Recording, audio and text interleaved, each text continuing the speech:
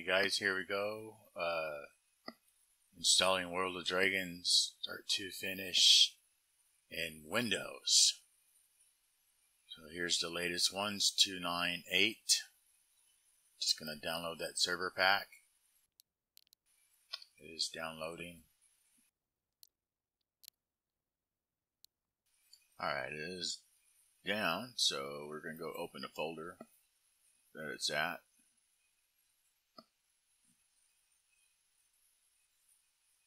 Gonna go ahead and close the Edge browser.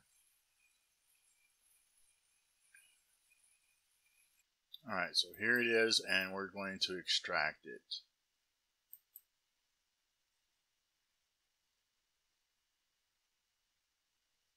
Let's not do that.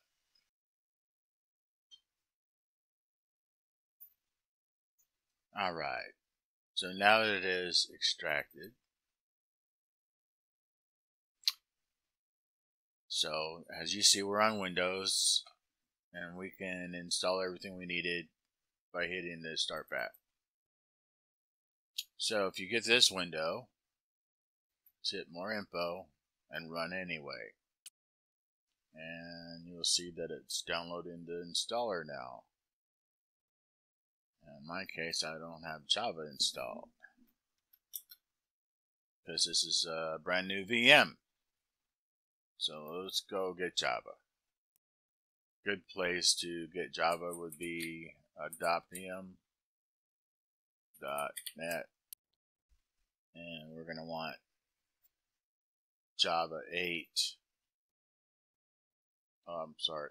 Fuck me, I said Linux.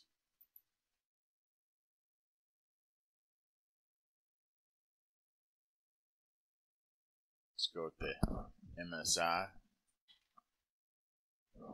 Alright, says it is thanking us for a download. Download has initiated.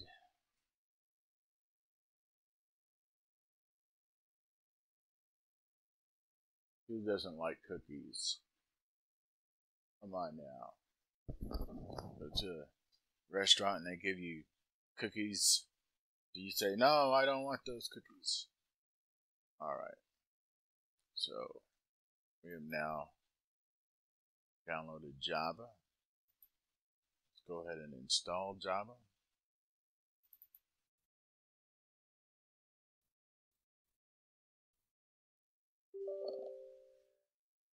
Just hit yes.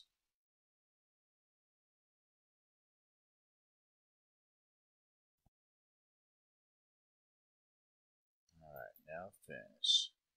Now Java's installed. Now we should be able to install the server pack.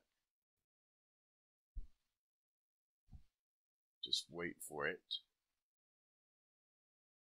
I had to guess why somebody might be having problem is when they run the start bat, they see that black screen and they think nothing's happening. Whereas on Linux, the current operandi is that everything gets printed to the screen. Now we must type I agree as it appears.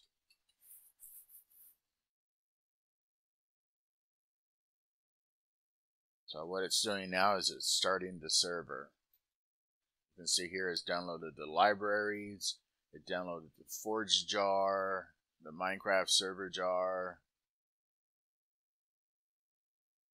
start to finish on a Windows 10 in a VM that didn't have Java that I've left the security enable really high to where I had to hit yes. More info and run anyways, all that jazz. If you don't have admin rights on your computer, talk to your dad or your IT or mom, whoever whoever put the lockdown on that computer.